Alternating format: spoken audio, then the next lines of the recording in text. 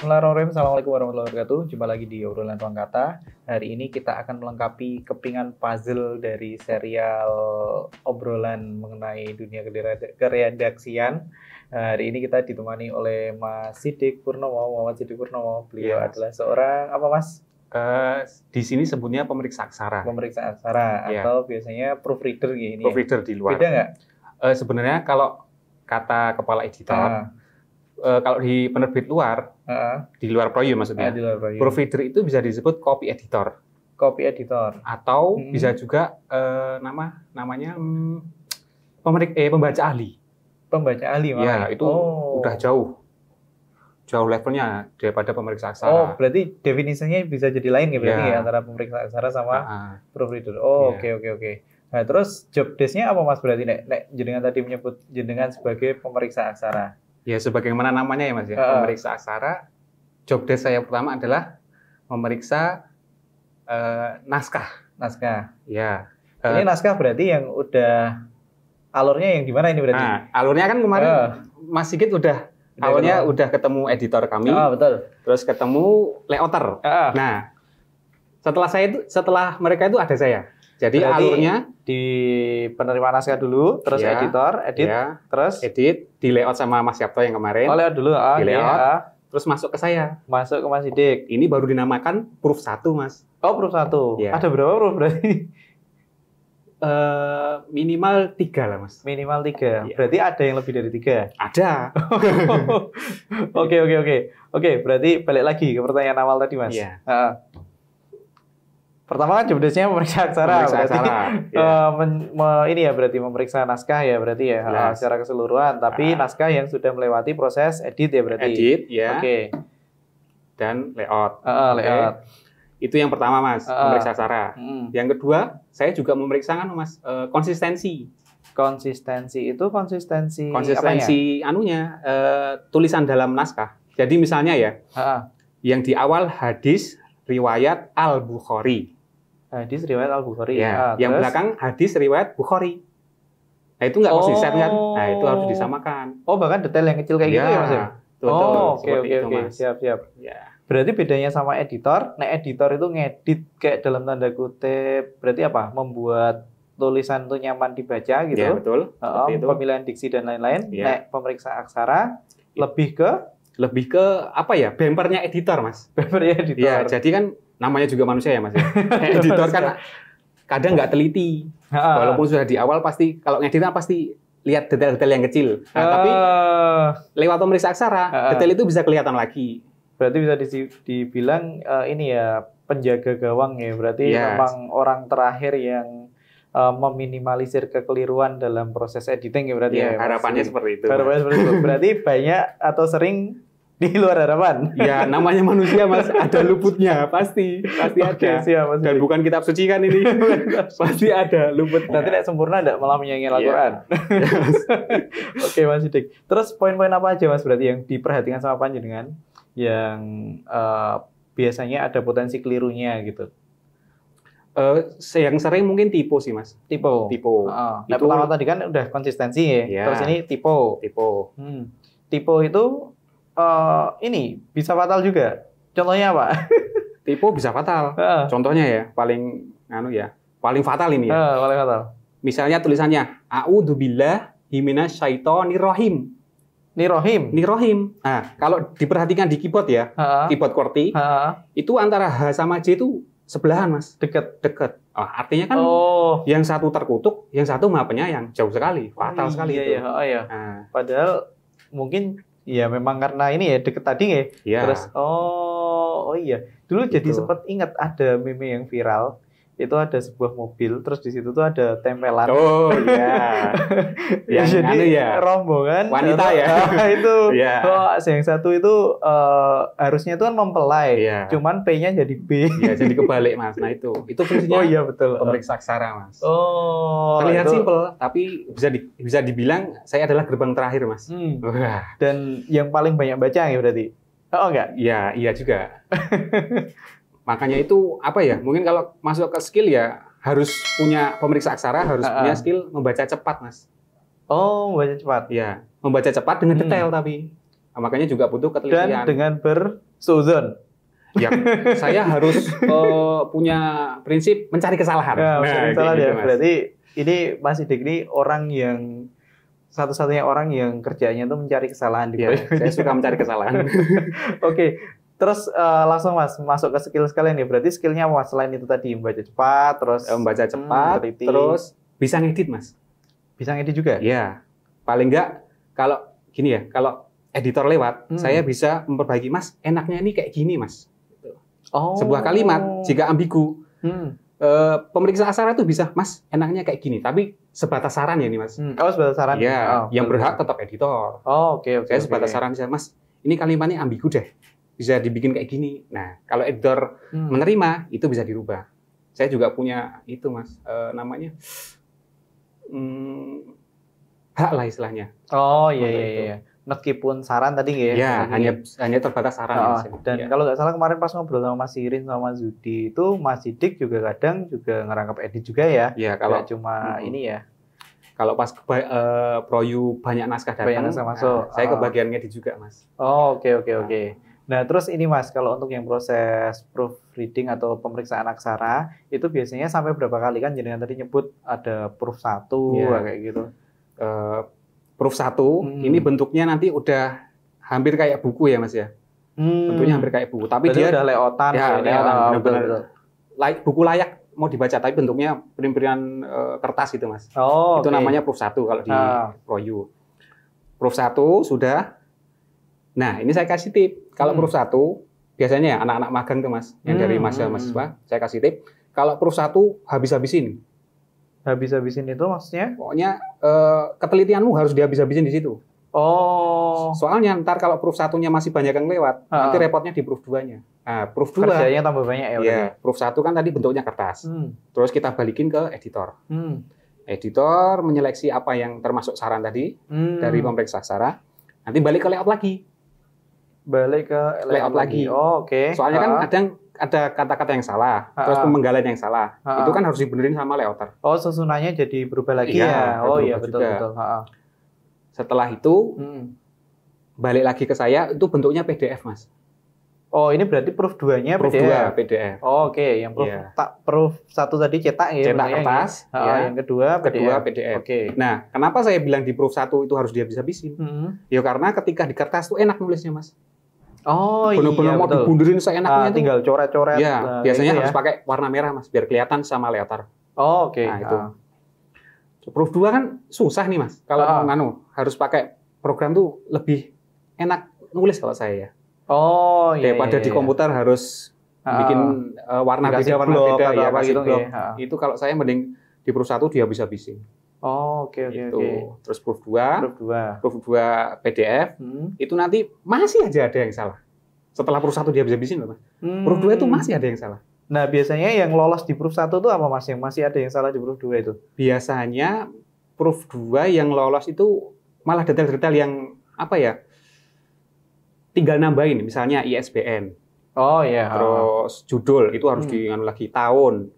Oh Hmm. iya, berarti Mas Sidik itu nggak cuma dalemannya buku, tapi sampai apa aja Mas berarti? Dari Di cover. itu ya? Ya, dari cover Mas. Judul. judul, nama, penulis, Ah, eh, logo, logo, tahun, nanti Tahun. kalau udah masuk itu Ah, sama ISBN cover. tadi ya. ISBN cover itu kan ada tulisan Mas. Sinopsis biasanya. Ya, nah itu Hmm. juga kerjaan pemeriksa aksara. Jadi suatu buku tuh benar-benar dibaca oleh pemeriksa aksara. Oh, oke oke oke oke.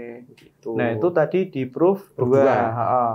Proof 3 Hmm. itu kadang terkadang ya ini Mas, ada Hmm. tambahan-tambahan nyusul. Ketika sudah Tambah nyusul. iya, ada tambahan nyusul. Itu berarti dari inisiatif dari penulis biasanya? Bisa Atau dari apa? penulis, bisa Hmm. dari editor kelupaan, Mas. Oh, Nah, oke. itu oke. dihitung proof 3. Soalnya kan hampir kayak ngulang lagi, Mas. Ah, Apalagi betul. kalau tambahannya masuk di tengah-tengah. Wah, layout lagi juga ya layout berarti. lagi, Ah, jelas. Nge-proof lagi. Nge-proof lagi. Oh, oke. Begitu. Ini kebanyakan kasusnya cuma sampai proof 3 berarti. Ada nggak satu dua yang sampai proof 4 atau gimana gitu? Beberapa buku ada, Mas. Ada. Ada. Sampai yang saya hitung tuh sampai malah cerga, Mas. Oh, Itu kenapa ada. Mas Nek? Kayak gitu. eh gimana ya? Saya kan juga punya apa ya, Mas? Eh, punya hak tadi juga. Oh iya, oh, saran buat ini Ya, kayak kita saran. Ah, betul. Selain sama editor, Hmm. sama layouter juga. Oh iya. Jadi ketika il- eh, ilustrasi itu kok nggak pas ya ini mas?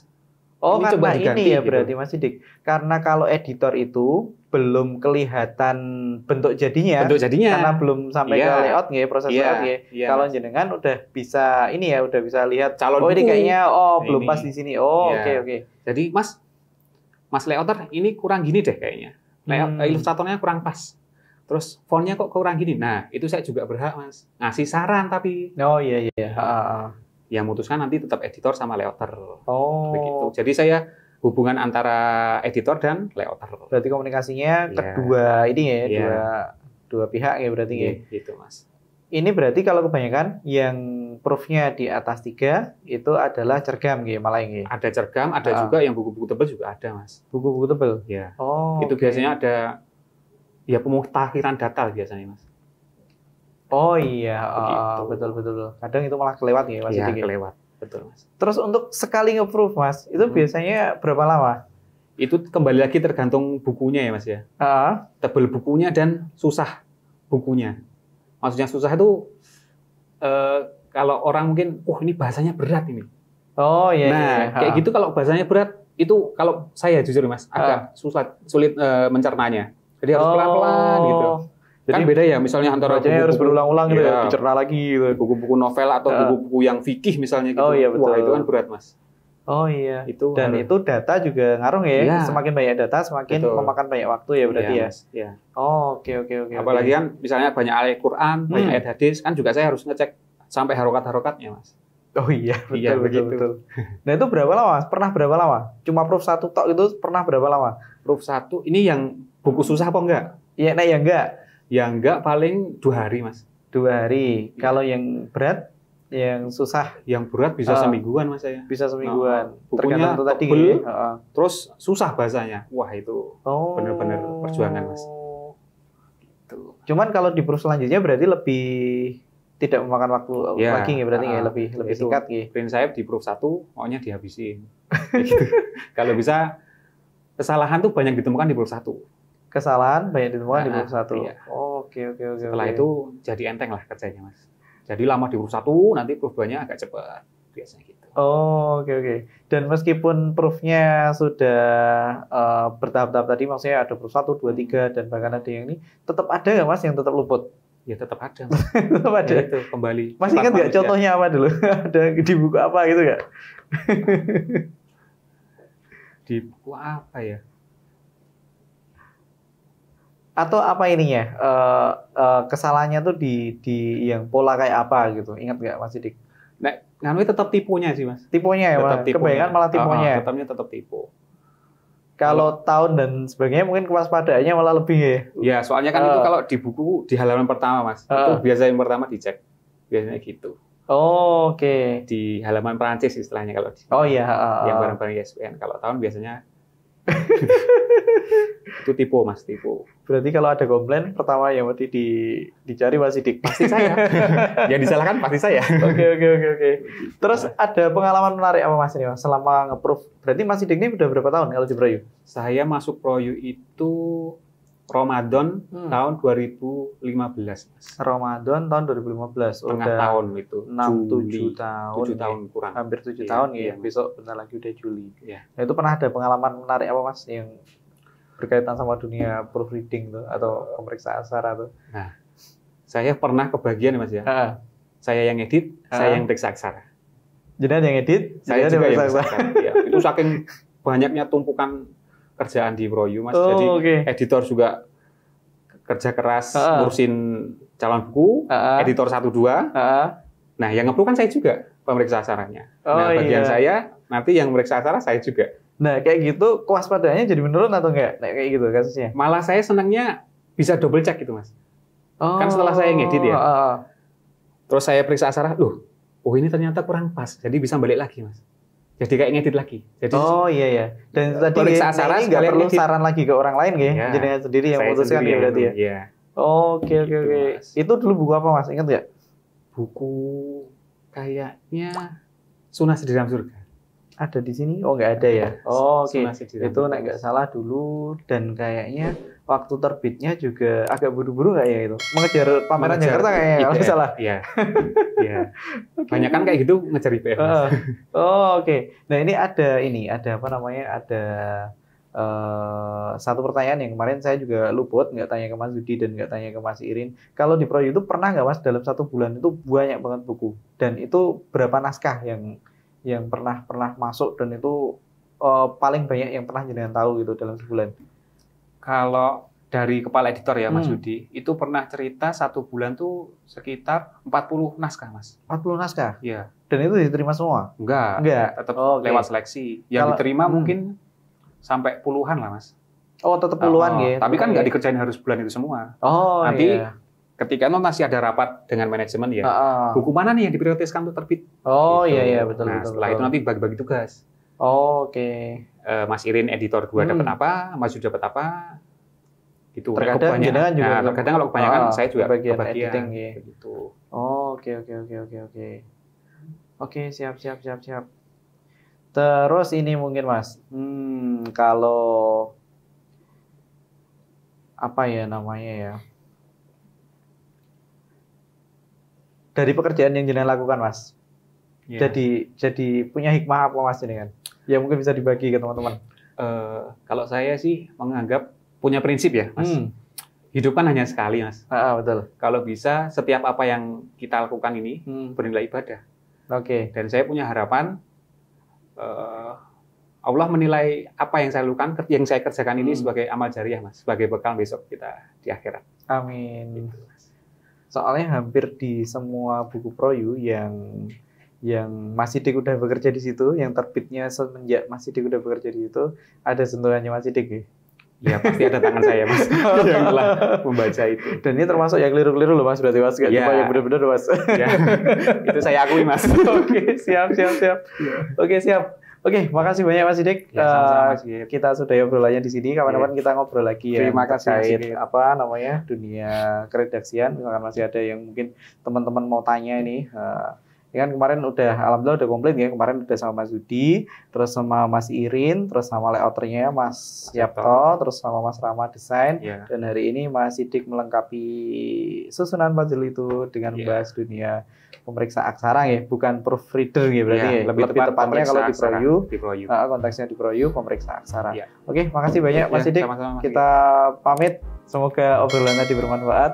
Assalamualaikum warahmatullahi wabarakatuh. Waalaikumsalam.